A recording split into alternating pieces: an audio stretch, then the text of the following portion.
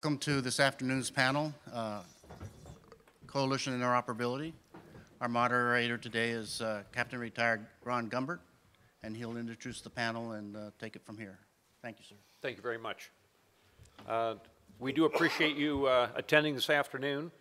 Uh, today's panel is the first in a series of discussions on coalition interoperability that will be held over the next months and years as we work to improve the, our ability to interoperate and communicate across all levels, whether it's military, uh, contractors, academia, and other government agencies working with our partners throughout the AOR.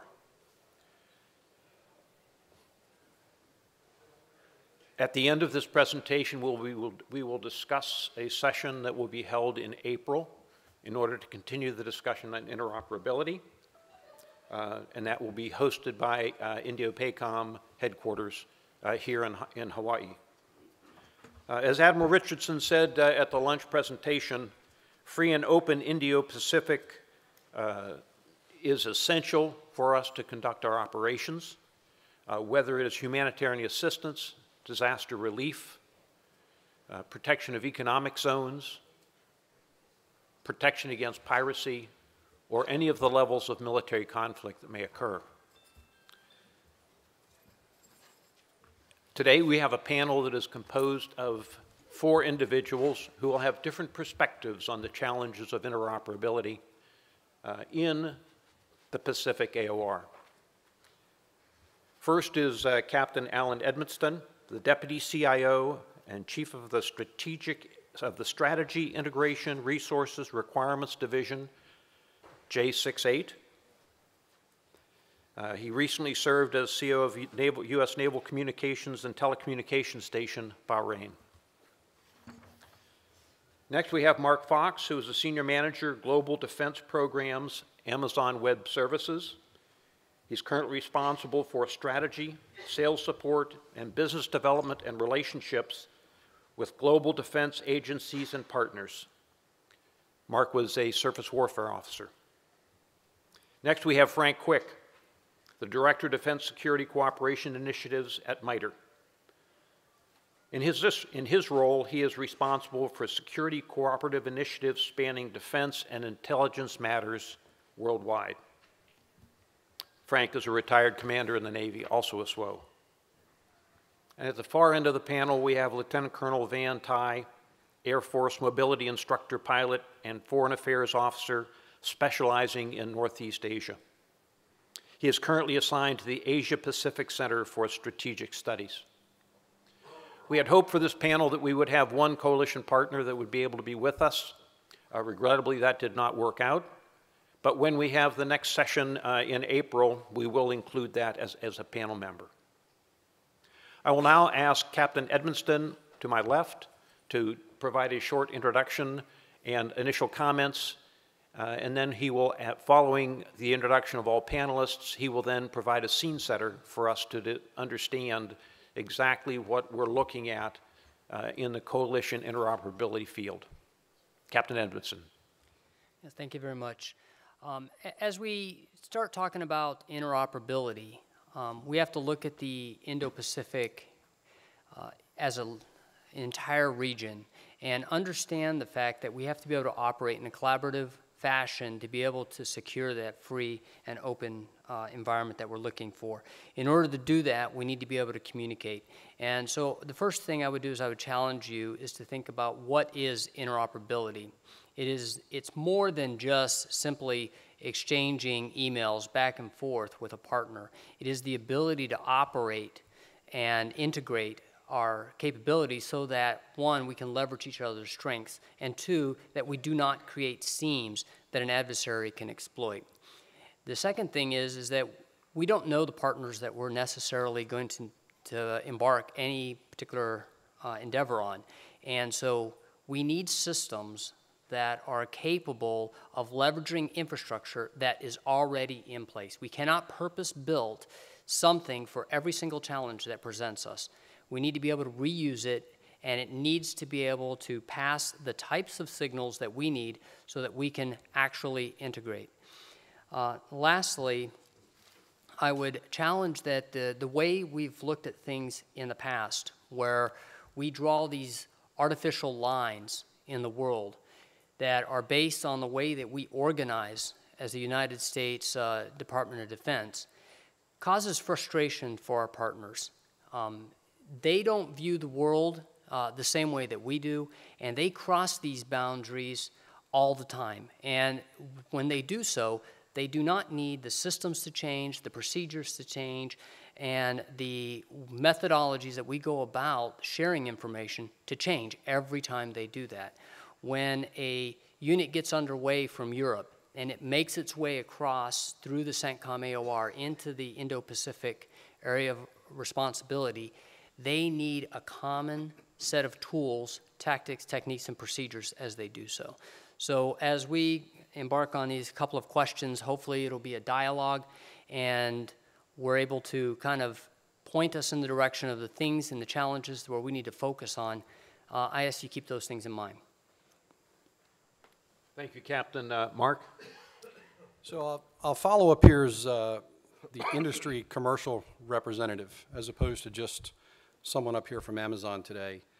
Um, And I'll, I'll go back to the captain's words here, which was that necessity for infrastructure globally. And obviously, we're talking about a specific AOR here. And that is the one thing that the commercial industry, from a cloud perspective, uh, which is very likely to be a key enabler, a component of anything that we have to do from a coalition interoperability standpoint. That infrastructure today, from Amazon, our competitors, our peers that serve the Department of Defense, is already in place. I can talk specifically to Amazon, and the answers are very similar for the other companies that play in this space, is the infrastructure is already in place on our West Coast. It is in place in Japan. It is in place in Singapore. It is in place in Australia. And, and we and others will continue to expand that infrastructure. Those are investments that we make, that the community here does not have to make, that is here for them to leverage. Um, that infrastructure and those capabilities that are provided from the commercial standpoint is not just the cloud, the data centers. If you would look at that as the center of the bullseye, it's a relatively small part of it. The bigger piece of it, if you walk out into the conference room or into the, uh, the showroom floor, are all of these other companies that operate in this cloud ecosystem now that can bring to bear their technologies to be able to enable this coalition interoperability that is the panacea that we were trying to go to. So Amazon, the cloud itself is not the panacea. It is an enabling capability to be able to allow us to do the things that are necessary to have this coalition interoperability. Mark, thanks very much. Frank? Yes, so um, my previous job at MITRE, I've been at MITRE about 25 years now. Um, I was responsible for all of the combatant commands and the defense intelligence work uh, worldwide that MITRE has, around 300 staff years worth of work.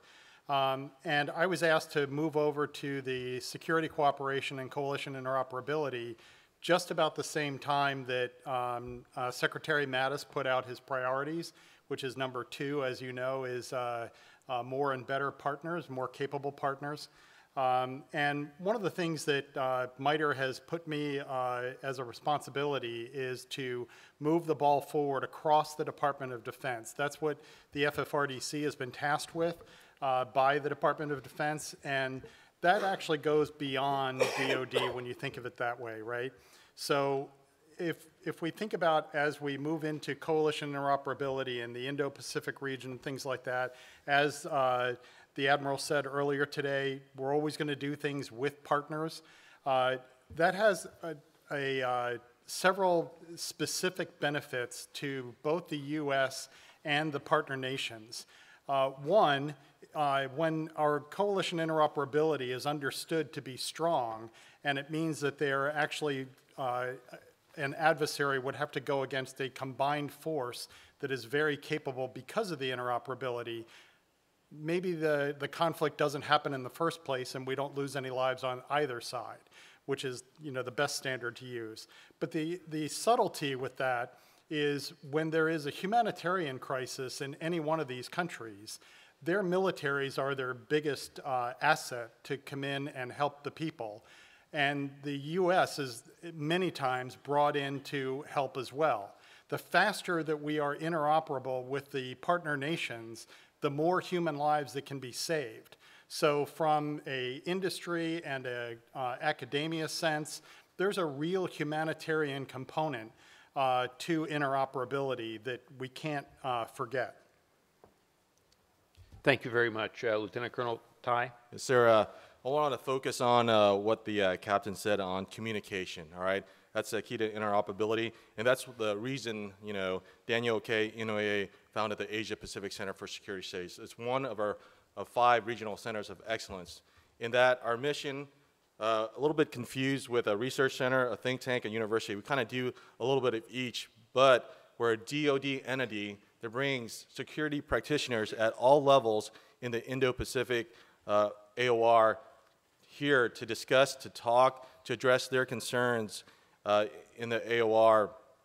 And then that's where we get to understand, to know their problems, their outreach, all right, and find out how we can help them. We're not forcing anything on to them. We're communicating with them, the soft power touch, engaging, and see where we can come uh, and partner with them, reach out to industry, to other agencies within the whole of government approach to help with this interoperability. So that's what our center does uh, in that aspect of building, you know, U.S. presence in the area of responsibility. Colonel, thanks very much. So why is, why is this panel here and why are you here? Uh, and the answer is we are eliciting from you ideas, thoughts, uh, innovative approaches to solve the problem of coalition interoperability. Uh, we want to leverage what you know. We want to repurpose what we've already done.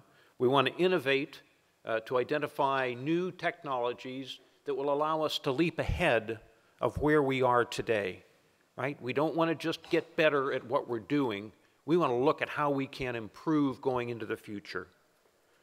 So we are looking at establishing an ongoing dialogue between PACOM, between industry, between acad academia, and between our, our industry and coalition, uh, pardon me, state government, pardon me, government, other government agency organizations to help us understand what, what the challenges are, to help us determine what initiatives we can undertake and how we can move ahead. So what we will be doing is we'll be asking a number of questions here of the panel in order for them to discuss their viewpoint about what their views are. But we also ask that you think, have we got the right question? Are we approaching this properly?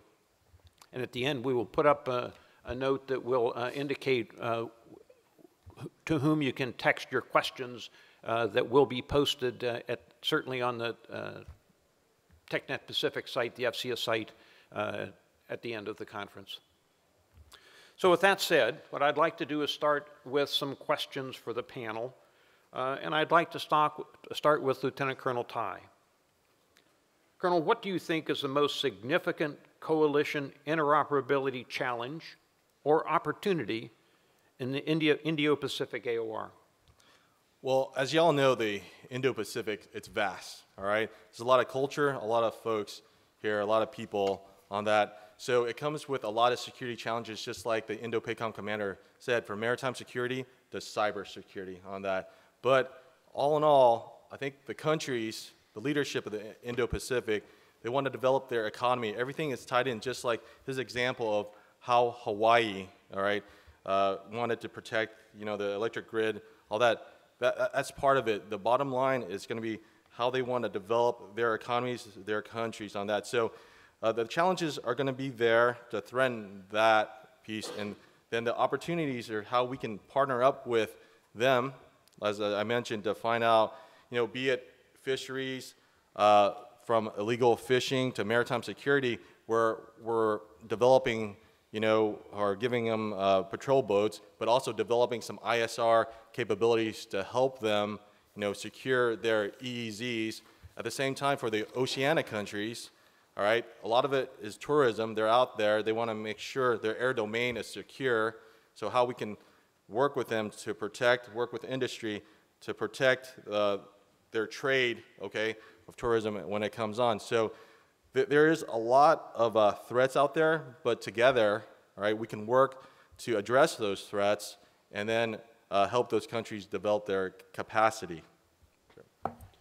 Thank you, sir. And uh, Frank, if I could ask you to weigh in on that from your observations of what you've seen in, uh, in your long experience in this area. Yeah, so um, there are a couple of things, uh, you know, as, I, as we were saying before when we were talking, that there are real opportunities in this area. And, you know, a- as I said in my opening talk about the humanitarian assistance part, um, usually when I say that, uh, people say, yeah, but when we're doing a, a conflict and we have to protect the information, that's even harder. Um, and while that is true, um, that is not something that's foreign to industry. Uh, industry partners with competitors all the time, and they don't open up their entire systems. Uh, one of the things that uh, Mark pointed out is uh, that Amazon and Microsoft uh, collaborated on creating Alexa and Cortana. I am certain they didn't open up all of the secrets that are in Amazon and all of the secrets that are in Microsoft to do that. That, i- that absolutely is a coalition network that they created. Why is it harder for the DoD to do that? It shouldn't be. And getting um, new ideas on how to do that, because as uh, the captain said earlier when we were talking, it isn't sharing or information protection, it's both. And certainly the uh, industry, when they're protecting their intellectual property, they absolutely focus on both information sharing and security, and we can too. And Mark, if you could pick up on that from the uh, industry point of view. Yeah, it's, the, the Colonel's comments around uh, everybody in the AOR having some involvement in this is important. I mean, we expressed our soft frustrations that it's, we don't have membership here. Um, One of the things, again, back to what the industry can do, and I'll speak specifically to our piece of it, is this whole evolution of what we now call cloud computing um, has flattened the world in terms of a country's ability to create and deliver solutions that they couldn't have done a number of years ago. So pick any of the smaller number of nations that are in the AOR who have access to this significant amount of compute and storage capacity, A, to use as they see fit, but probably the bigger opportunity for them, and I deal with this a lot on the NATO side because, you know, trying to convince 29 members to do any one thing is very difficult, and it's probably similar here, but all of them have that access. So if someone in Vietnam, right, wants to create something that in the past, and you know, five, ten years ago, they just didn't have the infrastructure and the tools and the capability to do that beyond what they could host themselves. That's gone now. They can go to any of the large commercial cloud providers, and they have access to the same set of tools that the largest companies and countries in the world have access to.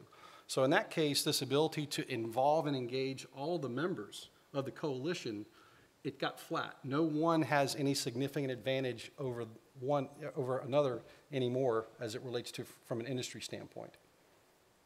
Thank you, sir. And uh, Captain, if you would respond uh, from a military perspective, uh, specifically the, either the opportunities or challenges you have seen in implementing some of these solutions.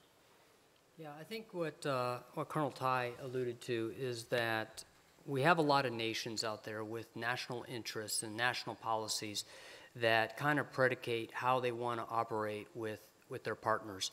And for a long time, I think we've taken technology and we've looked at what's available and we've tried to shove it into the policies of the countries that, that exist out there. And then we bolt things on. We take uh, a fairly light and nimble system and then we throw it into a safe and then we strap a security device on it and then we make it so you can't see it and then we cover it up and all this kind of stuff. And at the end of the day, it doesn't do the, the mission that it was supposed to do because we bolted on all these different uh, things. I think that uh, technology and innovation have actually brought us to a point now that we can go back to the basic requirements of the, of the partners' national policies and um, organizational policies, figure out what we're trying to achieve, and then from there apply the technology, apply innovation to actually deliver a solution that fits the policy and that we don't have to change policy. So instead of the policy fixing technology. Let the policy lead technology and let the folks in this room innovate and develop those systems that can purpose meet uh, the requirements of the different various partners that are out there. All right, sir, and, and could you say, uh, could you help the audience by perhaps giving a couple of examples where you have seen this work, right? We're trying to get our audience energized to be able to say, how can we help address these problems? Do you have examples uh, that you can mention of, of where we have brought innovative ideas into the way we're doing business? Yeah, th- there's a lot of things that are out there, and I, and I don't want to, you know, damper dampen the, the innovative thought by saying that, that these are, are the end of innovation. There's probably out in the audience an idea that we haven't thought about in applying to the problem set that's, that's at hand. But we have taken, for example, uh, the need to secure U.S. national uh, information by using cryptography.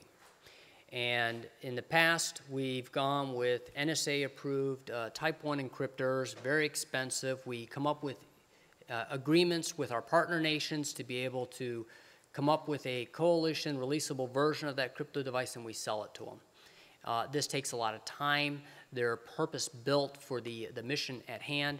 And where we've come in the last uh, decade is we've come up with a way to take commercial cryptography, commercial solutions for classified, uh, build that and adapt it so that we can now bring in a partner where we might not have a ComSec uh, agreement with, but still provide that protection of the information to that partner. Uh, we've also come up with methods to be able to individually encrypt data so that the, the data itself it is not protected within the system, but it is protected on its own self. So these are just some of the ideas uh, of how we do that.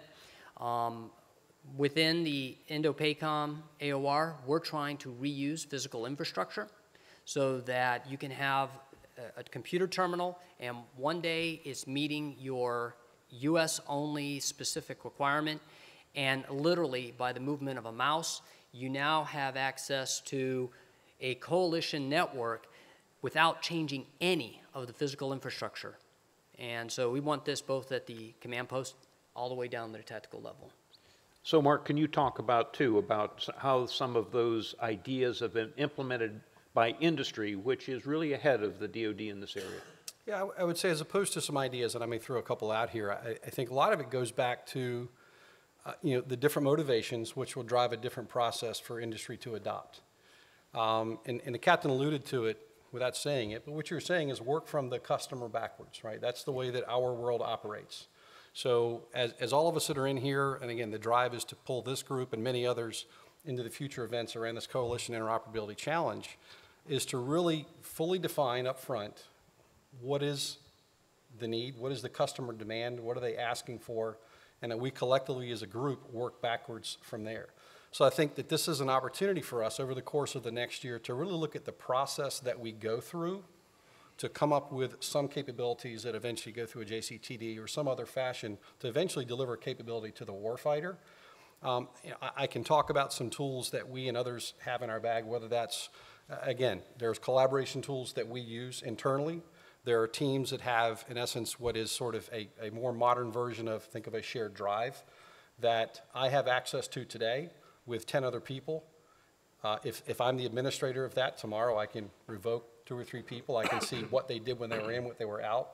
Um, so these are, again, are, are work collaboration tools. I think the other thing that could be looked upon here um, are tools that provide virtual infrastructure and, and virtual workspaces or desktops that are in the cloud. Again, we've been doing VDI uh, for a number of years in DoD, and it's really starting to catch on so that when I go out, whether it's an HADR situation, um, I, I really don't need to have anything with me other than connectivity. And I'll leave the kind of final note there is around connectivity. Whatever is needed to be done in the coalition, if there is no connectivity, all these things that I can allude to or industry partners can allude to, if I can't get to it, I don't have it, it's, it's useless. So I think that's an area that we're going to need to focus on. Uh, we in industry continue to expand. It is uh, an Achilles heel and a dependency that we have as cloud providers. If you can't connect to us today, if your device doesn't have connectivity and all these apps that are running on here that are hosted in the cloud, they're useless. Um, so I'll look at what we're seeing as an industry trend now uh, is to look at more ways to connect And, and one as an example that I threw out, and the industry partners here, and I need to go speak to them, is with Iridium. And Amazon Web Services has announced that they have an upcoming satellite constellation that, shy of traditional Wi-Fi in a hotel or at home, we now can go out into a true AOR at the edge and have connectivity. So whether it's Amazon or anybody else, without connectivity, all these things in the cloud from a commercial standpoint are not going to work. So I think that needs to be part of what we look at going forward is making sure that we've got connectivity, that we've got it everywhere, and that it has enough bandwidth to handle these situations when they arise.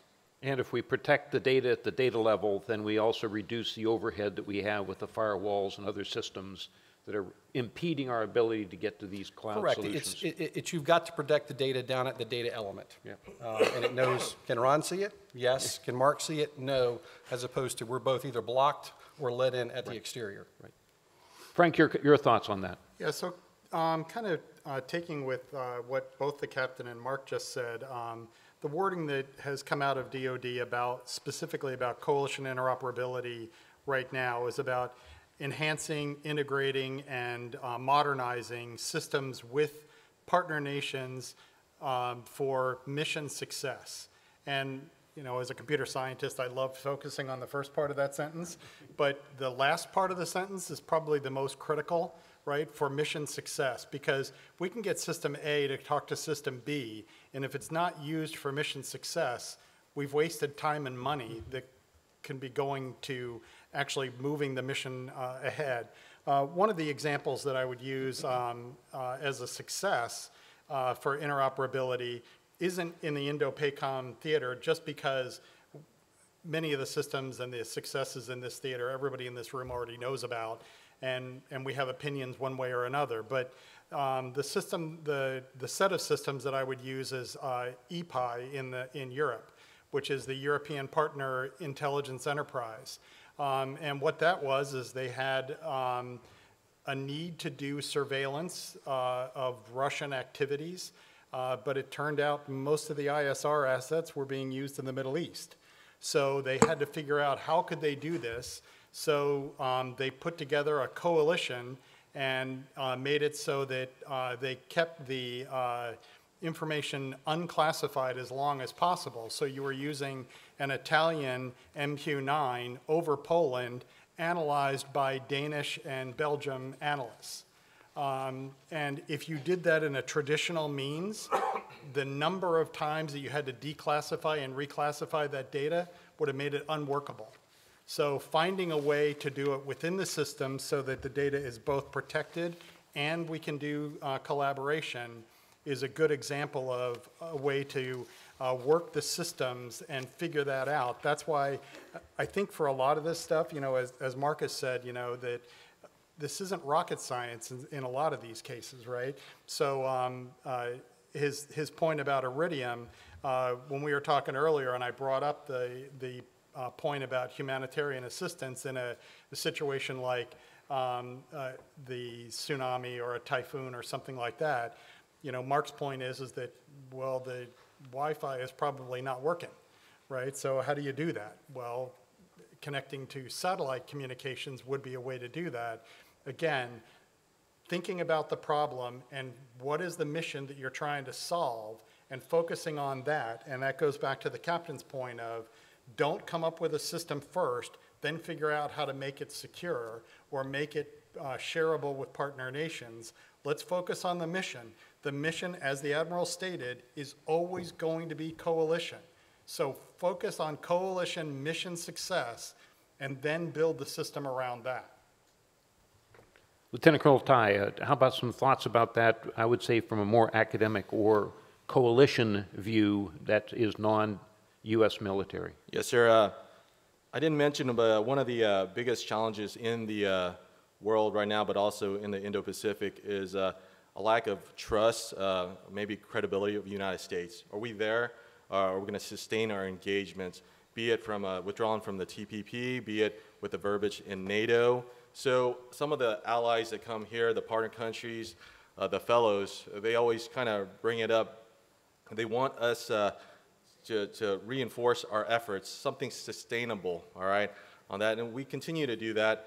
Uh, so the, the mixed messaging strategically, okay, is is there. It's, it's ambiguous. But at the same time, on the second and third tier level, be it Secretary of Defense, be it our admiral like Davidson, also uh, Richards, and then the generals out there kind of reinforcing in the country, I think we need to continue to do that. But also, what kind of makes us a little different from the other countries, maybe the Belt Road Initiative, some of the other stuff, is that, yeah, their governments are forcing the aid out there, maybe putting it out, but it's not sustainable. Where, as you all know, the private sector in the United States, that's what the U.S. government does well. We push our private sector out there, all right? And then as our industry gets out there, builds those tides, you know, with the country to help them build their security capacity, it's long, it's sustainable, and it creates jobs with us and with them on that too. So the, that's how we work some of the tr- trust issues. An example, maybe uh, I'll, I'll look at Japan. Uh, about eight years ago, we're looking at, you know, and then there's a lot of countries. I think we touch on from uh, Five Eyes to down the chain.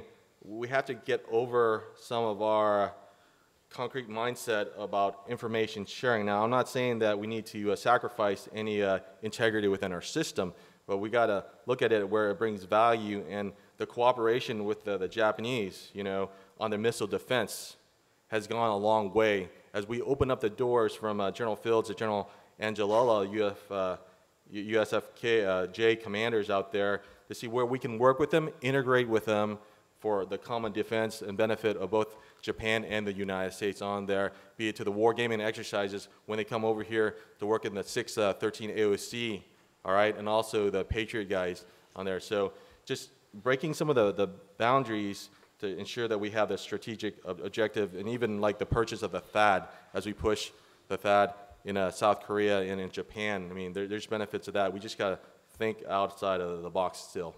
Thank you.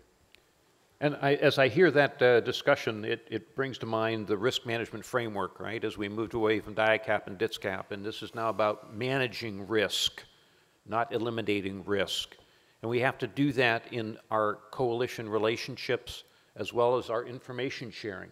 Frank, what are your thoughts on, uh, on that particular thought? Yeah, that's, that's the thing that um, each one of the um, combatant commands uh, deals with that in a different way. And um, I think it was either uh, you, Ron, or uh, the captain was saying that that can frustrate our um, allied partners uh, because, you know, when they're dealing with the Army in Europe, dealing with the Army in the Pacific is not necessarily the same.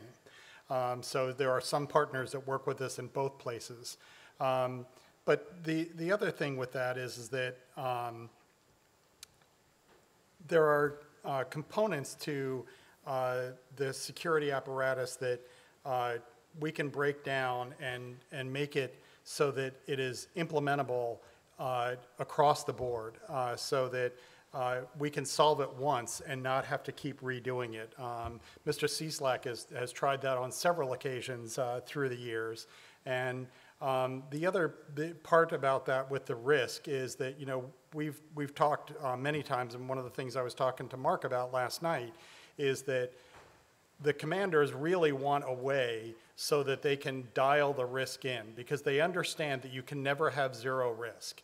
But when a, when a mission success is important enough, when you're going after somebody like a, an Osama bin Laden on that night of the raid, you might accept a level of risk of 10. If it's somebody that is just somebody you want to get, the level of risk you might accept is way lower than that. So finding a way through technology to be able to understand and what's happening right now is many times the combatant commanders are accepting a level of risk that is not completely well understood by any of us. Um, how much risk are we putting into the system by, um, say, uh, allowing a partner nation to connect and to have access to a certain amount of data where they may not be a partner a week from now or two weeks from now? The commander stepped up and said, I need to get this mission done. I'm accepting this level of risk. But I don't think we're giving the commander enough information to understand how much risk is going to be um, basically uh, kind of enduring uh, beyond the, uh, the cycle of the mission that we're trying to get done right now. So Mark, if you look at that from a commercial point of view, right, you're dealing with this all the time with your customers, be they financial services institutions. Uh, How does industry address this really challenging problem?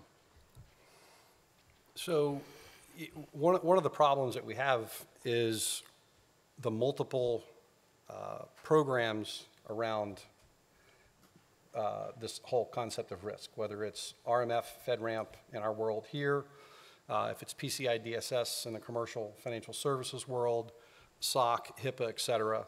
Uh, If you were to throw them all on the table, which is what we effectively have to do in industry, and create a Venn diagram, there is probably 90% overlap. So A, there's too many programs.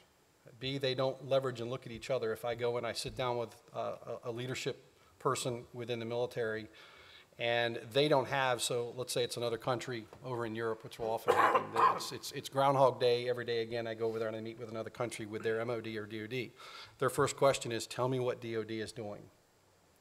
Um, so I'll go through a drawn-out story from about 2010, sort of when the cloud world started in, in commercial world and in DoD out to today, and I'll tell them that you're at about 2012, and you can continue down your path, and in, and in six years from now, 2018 and 2024, you're going to be where US DoD is today. Uh, and it has the intended effect, which is, okay, what can I do different? How can I shrink that timeline down from six years to two years? And, and a lot of it will get into, should I create my own FedRAMP, which then evolved into our world in DoD to FedRAMP Plus and the, the Security Requirements Guide. And my answer in most cases is don't. Try to adopt what have become commercial best practices, which is likely going to be uh, security compliance regimes like SOC 1, 2, 3, or have them look at PCI DSS. I mean, the most probably sensitive thing that we have out there as consumers is our credit card information, our buying habits, where we live, all those things. Um, those security controls are in many cases significantly stronger than what we have even within FedRAMP today. So, so that's just one general comment that I think we need to look at in this context if we're start, starting from a clean sheet of music. The other part of it within this risk management framework equation is I don't think that we have weighted, and you alluded to it a little bit there, Frank, the component of speed and agility. If I can do something so fast and move around within these commercial environments that an adversary can't find me, and by the time he does find me, if he ever does, my mission is accomplished. I can accept an extremely high level of perceived risk. And I don't think that that's really in our equation today, um, you know, as the secure, security and compliance community and the DoD is taking a look at what they can or can't do with these commercial technologies. Captain, if I can go to you and say, are there some initiatives that PACOM has underway or is looking at ways to address these kinds of issues from a military point of view today? Well, I think the, uh, the other panel members uh, have hit on a re- really important point that at the end of the day, what we're trying to do is enable our leaders to be able to make the most informed decisions, to, be, to get that risk informed uh, decision that's out there. And one of the things you need to be able to do when you make those decisions is to understand the environment in which it's being made in. And so I think that one of the most important things that uh, we need to achieve is to get that situational awareness down to a way where a commander can look at what's going on in the information transfer in the cyber domain and understand how is that tied to the physical infrastructure that's out there, the virtual infrastructure out there, the mission threads that run through it, and which partners it ties into. And without that visibility into what's going on, you can't make those informed decisions about risk. So when a um, an adversary overruns a um, a router routing facility or a fiber gets cut or a data center is lost, what are those threads that run through that? And understanding how that happens. And, and a lot of this stuff right now is automatically rerouted and re, uh, rehomed to different things. Um, we need a tool that can actually show that and that the commander can look up at something that's easy to digest at time now and figure out what that risk is to the mission so they can make those informed decisions. And so that cyber situational tool that delivers that is, the thing that we really need. And that's what, uh, I know we've been sending the demand signal for that capability, but that is what we're working on to actually to deliver to the warfighter. And that uh, creates some very interesting uh, thoughts about how well we are able to reroute or, or redivert the information so we maintain that situational awareness uh, no matter what happens. Some, some very rapidly changing things. I think of the wildfires we've had here on the West Coast uh, over the past uh, a couple of years. Uh, you see how dynamic even a non-military situation can be, how it can destroy the infrastructure you need in order to operate, and then how do you get information whenever those normal lines of communication are not in place? Or how do you do that if you have a coalition partner that does not have normal kinds of communications with you if you need them in order to support the fight? So uh, Lieutenant Colonel Tran, if I can, uh, pardon me, Thai, if I could, uh, can you talk about uh, some initiatives that, that you see being worked on in the Center for Strategic Studies uh, as you try and look, look for ways to bring in our coalition partners and solve problems that they might have? Yes, sir. Um, I mean, overall in academia, um, for, for our institution, we bring in the, the practitioners, but I like to kind of kind of throw it out for academia because just like uh, in the engineering side, uh, I mean, there's a, a ton of bright young minds out there, all right? Uh, they're not confined, they're not constrained kind of by our organization's rules, just some, some in the cyber domain where you're red gaming, war gaming, you're recruiting on that, you're looking at that. They, they have the time, the energy to kind of innovate, kind of think outside the box of the critical issues and vulnerabilities. So I'll just push on to continue that where they're in an environment where they can test, fail, recuperate, and move on uh, to, to push on to that. So from our center's point of view, uh, when we bring folks in, we just kind of address, we give them the overall picture, at least how the U.S. government sees it.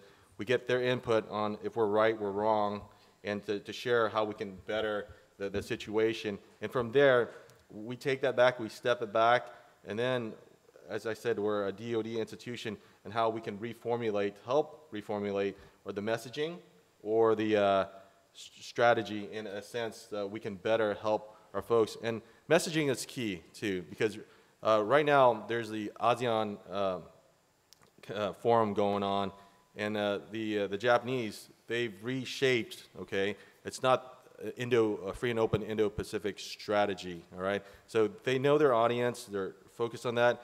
They're vision. They're changing it to a vision. Okay, the connotation is there for the outreach to help get more partners on board. So that's what some of the institutions are doing is how can we shape this to make sure there's no, uh, there is not a bad connotation and find a win-win situation with our partners and allies, sir. And uh, Mark, if I can, from an industry perspective, I know one of the challenges we have in DoD is attracting and retaining uh, the, that talent, right? Those skills, uh, bringing people into federal service, whether it's government or civilian, uh, so that we can retain and help grow those skills within government. Uh, can you talk about some of the things you're doing in industry that helps attract and retain those kinds of people? Yeah, that's, Ron, it's a, it's, a- it's a great question. It's kind of a softball one, and, and I was laughing with somebody about this a few weeks ago. It, you know, up until recently, we and a lot of the other companies, again, would have similar programs to where, you know, we try to hire a lot of folks coming off of active duty. You know, Amazon's made a commitment to hire some tens of thousands. I think Jeff's commitment was 50,000 um, veterans and spouses over the next 10 years, and we're well on our way to, to meeting those goals, as, as a lot of our other partners are doing. Um, we have programs for the .edu world to try to get these people in their college programs involved and engaged in these tools so that then they can take the skill set for those that would like to do so to support, you know, the aerospace defense community to come in and help out with things like this. Uh, but we're now seeing that movement from industry outreach down to the elementary school level.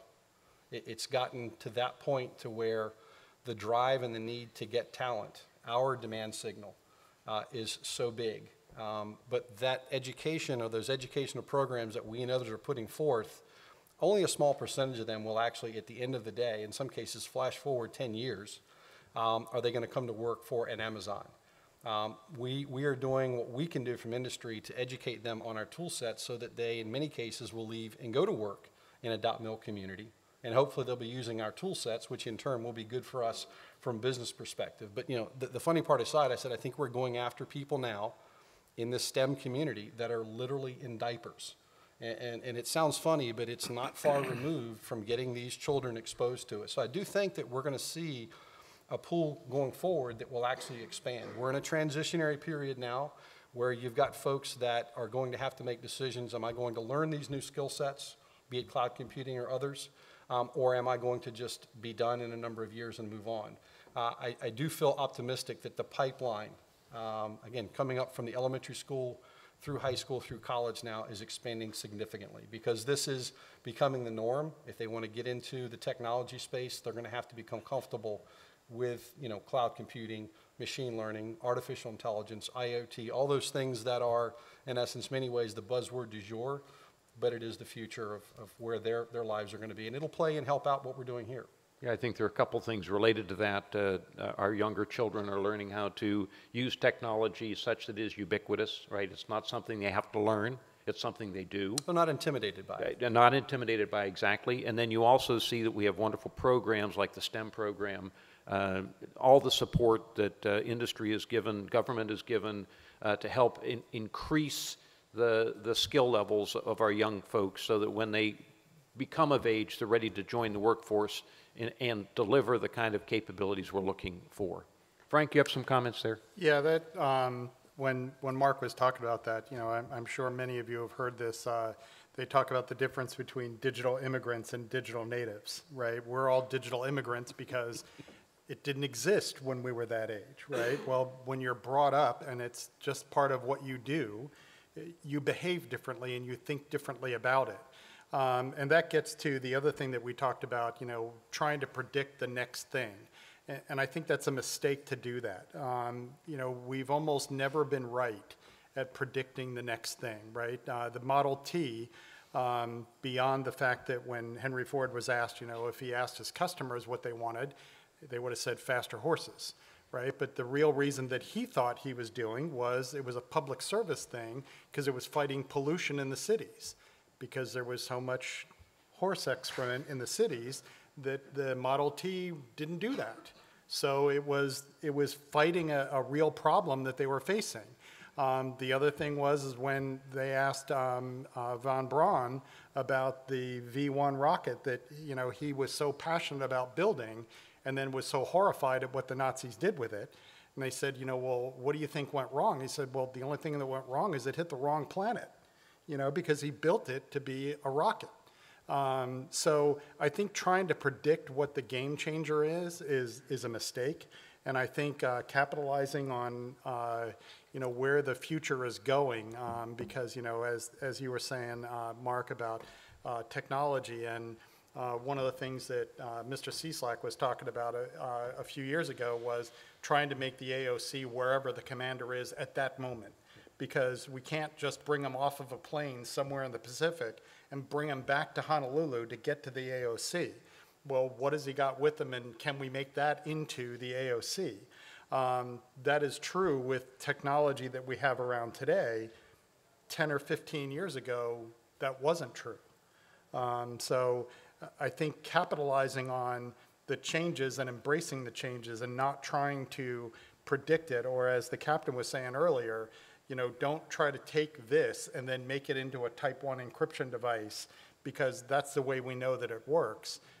Figure it out how, what is the mission, and how do we get to uh, mission success with what we have.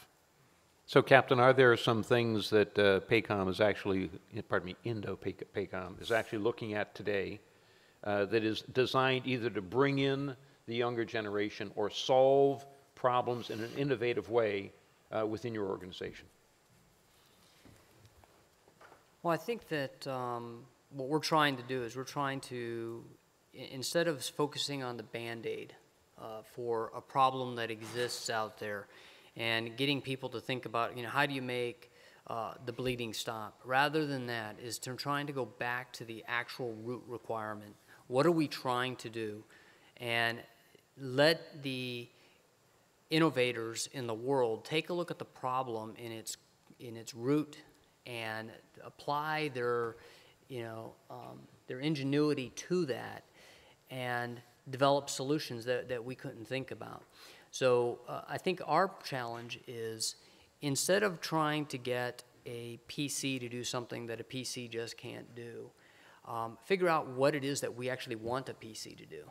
Right, go back down to the information that we want to be shared with our uh, our partners, and then present that problem to the, the new generation and say, okay, if you have this need to be able to get a targeting data to a weapon, today we, we package it up, it becomes a range and bearing or a latitude and longitude, and we put it all together with a name and a bunch of descriptors to it, and we send it off in a little computerized system, and, and that's how it goes. But is that really what we need?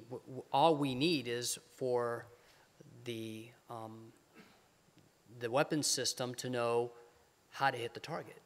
All right, and so is there a better way to do that? Can we just send raw information? Do we have to package that all up together? Um, we need the ability to know the difference between a friend and a foe. Um, do we need to actually have a tag placed on the signal to say this one's the friend, this one's the foe? Or can we make the, the system smart enough to identify what a foe looks like and what a friend looks like and determine that ad hoc uh, on every single, every single target that it tries to acquire? I think that we're, we've been trying to put band-aids on ways that we saw the problem was 20, 30 years ago, instead of just going back down to the basic requirement and saying, what are we trying to do? And then what is the innovative way to achieve that? Which creates some interesting challenges because I think one of the hardest things we change in DoD is policies, uh, right? So how do we adapt those policies that give us the flexibility to inject this new technologies that might help us really solve some of the problems? So one of my challenge I'm going to throw out to the audience is don't be bound by policies. Just because we don't say something, just because we say something today is against policy, don't take that as an absolute. Challenge it, challenge us, so that we work together to be able to take advantage of these capabilities and just saying, oh no, we can't do that. Lieutenant uh, Colonel Thai. Sir.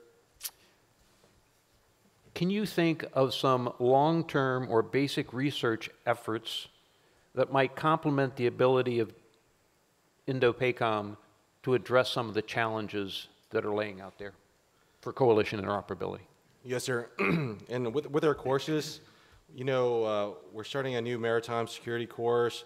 We do advanced security cooperation, but uh, we're always bringing the partners because each region in the Indo-Pacific uh, is unique, as you all know, and they have different challenges, all right, from water security to the maritime piece to uh, terrorism on that. And even, uh, you know, the term terrorism is kind of hard to define. You throw it out there, everybody's going to define it in a different way, just like interoperability, you know. Everybody's going to define it in their own way on that. So uh, we continue just to reach out to work to bring in different points of view, sir, to, uh, to address those security concerns. Um, even as you mentioned, you know, we're looking at Southeast Asia, cybersecurity. A lot of those countries, uh, besides Singapore, Singapore, you know, has a lot of capabilities there, but those other countries are developing, all right? But we're not waiting for them, all right, and y'all shouldn't be either, for them to develop that capability. We're going to help them develop together to ensure, you know, that it's developed in the right way, secure way, especially since we have two treaty allies in that uh, area of the AOR on that. So we're trying to continue to get their input to the lead turn and find to break down the barriers of cooperation. An example would be Malaysia. They have uh, some rule sets that they can't work directly with uh, their, uh, not their military, but their other agencies, uh, government agencies can't work directly with some of our militaries. And what I meant by that is there, we have state partnership programs. Each state is partnered with certain countries, be it in Asia, be it in uh, Africa, Europe, to help build their capacities, trying to show our uh, soldier, scholar, civilian, military piece of the house there. But I had a fellow come in and he's working through to break that barrier so they can have uh, easier cooperation, direct cooperation.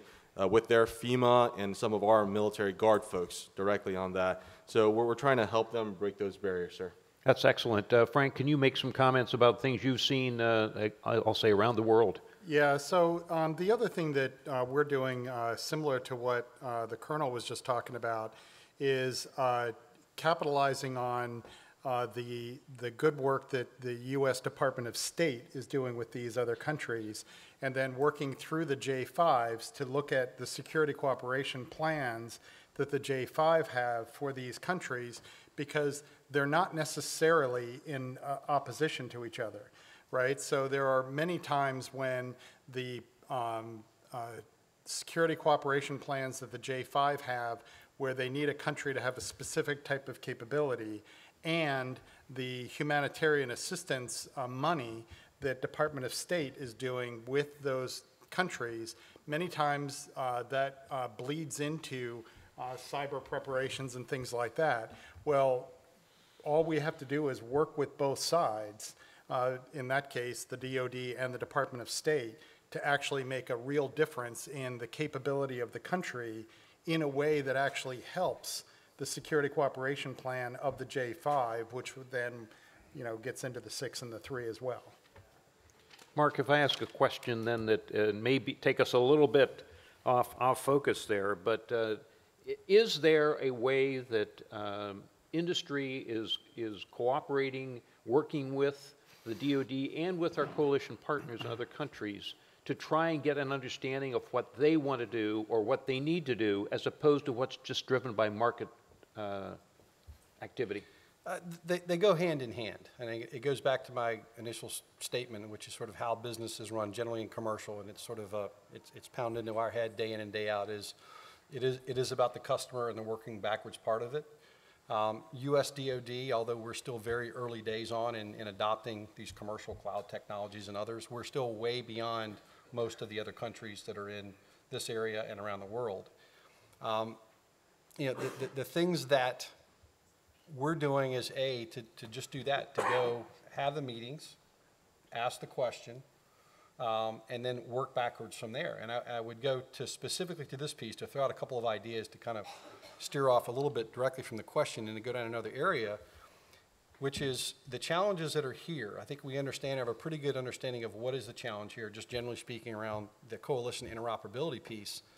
And that challenge needs to be thrown out as it has here today. This is sort of the first shot across the bow. There's going to be follow-ups in the springtime and, and, and maybe future down the road for that is we need to think about what is the process. And again, we from industry can help say this is how we would go about it, right? And, and the process for us, it's something that anybody that's sort of read up on Amazon specifically, is this construct around what we call two pizza teams. You take a challenge, in this case, it's a customer requirement for coalition interoperability, and probably some more specifics than that. And you put together a team of people that is very diverse. In our world, it's going to have representatives from security, it's going to have representatives from various different technologies that we have. And that two pizza terminology is that group cannot be any bigger than it typically takes two pizzas to feed them. If it gets bigger than that, you've lost your span of control. They're not going to be able to go fast. It doesn't mean that you can't have, and we will do it. I did not understand it at first, that we will take one challenge, one customer requirement, and we will build two teams. Separate them. They don't even talk to each other in many cases. Many cases, they don't even know the other exists, and both of them trying to solve the same challenge. I think that there's an opportunity here for us to take this challenge, bring together the folks that have an interest in being involved in this, build diverse teams, segregate them off and let them each come up with their own ideas because they'll be able to go fast. It's a group of 8, 10, 12 people each. And then let those ideas be brought back. So you'll have multiple members of industry in there, members from security, from government, from education, across the board. And again, that's the way that I know we would do it internal from an Amazon perspective, and a lot of other folks in commercial would do that. Uh, and then once you're locked down on that solution, again, you stay with that construct of a very small, very agile team to take it forward, whether that goes into an exercise or it turns into a solution at the end of the day. But, you know, if we have too many in the group, as we all know from experience, we're going to have a challenge making decisions, and this is not going to happen fast enough. So if we're able to leverage those lessons learned from industry, uh, and again, I'm sure that ourselves and others will raise their hand to help out, not so much with the technology. Those things are there, they're going to be a part of it. But what are the processes you know, how do big companies like an Amazon, how do we uh, deliver innovative solutions fast? And then the last piece of this that, you know, Van, you brought up was long-term. You asked them a question about long-term vision. Um, The definition of long-term is in the eye of the beholder. So, you know, let's think about that. You know, long-term for us, people go, what's your long-term plan, Mark? Which two years, five years out? The answer is it really doesn't exist. Long-term for a commercial company, in many cases like us, is six months to maybe two years. There, there is nothing written within the organization that says, here is our five-year, 10-year, 20-year plan. Because things are going to change, they are driven by the customer, and we need to be small, fast, and agile and make those quick moves to be able to deliver those capabilities, or we're out of business. Excellent, thank you. Uh, Can I ask the folks in the back if you can put up the slide that uh, uh, uh, asks for questions, tells you how to text text it in? Uh, And then what I'm going to do, that leaves directly into, thanks, Mark, uh, what I'd like Captain Ed- Edmiston to do is talk a little bit about the challenge that we're going to have uh, in April of 2019. Uh, If, as he is talking through that, if you have any questions that you would like to submit, please submit to the, or text to that uh, site or uh, email. Uh, And uh, Captain, if you would, let's, if you could talk about uh, what you see the uh, event coming up in April being about. Yeah, as, if you recall at the very beginning, Ron mentioned the fact that this is a beginning of a series of meetings that we're going to be having to be able to talk about the challenges that are in front of us and to find opportunities to be able to advance interoperability with our partners. So in April of 2019, we'll be hosting a Coalition Interoperability Forum and this forum is going to be an opportunity for us to take the items that we've talked about today. Hopefully, you'll have had an opportunity to think about uh, some of the things that we've talked about. You'll be able to go and ch- check what industry is capable of uh, potentially delivering, and you'll be able to bring that back to us, and we'll be able to see how we can work with not just the industry partners, but also our mission partners to deliver warfighting capability that will enable us to pass the information that we need to to drive toward that mission success.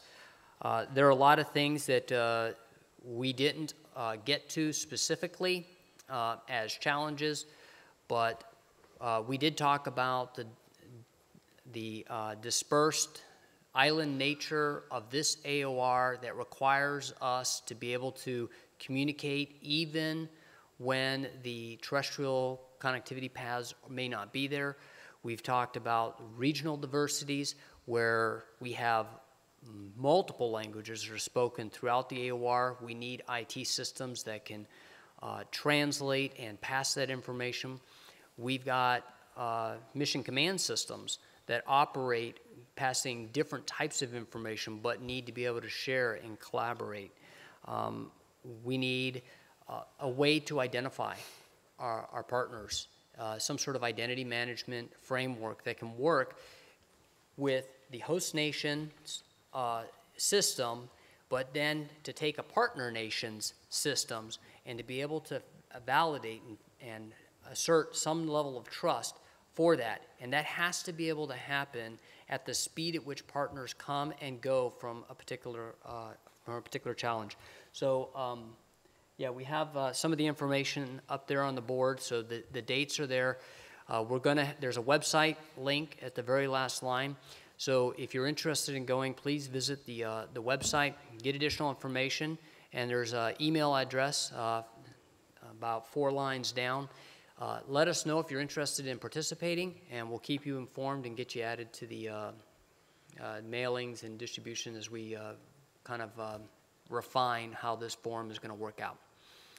Now, ideally, as with this panel where we had academia, industry, military, uh, group together, it would be wonderful if you could uh, pull together some friends, some colleagues uh, from across, whether it could be, uh, you know, non-DoD government, to help look at the problem and figure out what it is that you might do as a small team. Uh, There'll be more details, as the captain said on the website, that explains what the, what the effort will be. Uh, more information about the uh, session that will be held in April. Uh, And the, any questions you have will be addressed there, as well as additional information as more details are finalized. But we also understand that coming out to Hawaii does take some preparation on your part. So we will be looking ahead to that, ensuring that we get that information out to you. Uh, And if you have any questions, please uh, send those questions in so that we can uh, make sure that we have been clear with what the guidelines are going to be for this challenge. Uh, This really is about coalition interoperability. It is about the ability to communicate, as the good admiral said uh, at, at lunch today, to be able to talk to one another, to be able to understand, and communications is more than just talking and hearing, uh, making sure that we understand what the mission requirements are. If we don't clearly identify what those requirements are, we'll go solve the wrong problem and we don't have enough time to solve the wrong, wrong problem. So we're looking for your great thoughts, for your initiatives, uh, anything you can think of to help, help PACOM address this challenge that's in front of them and help us uh, become better uh, war fighters and uh, better representatives of the United States government in this AOR.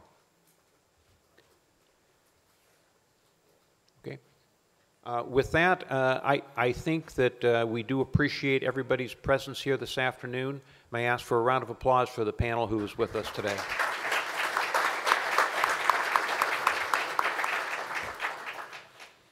All right, we thank you very much and wish you a great afternoon.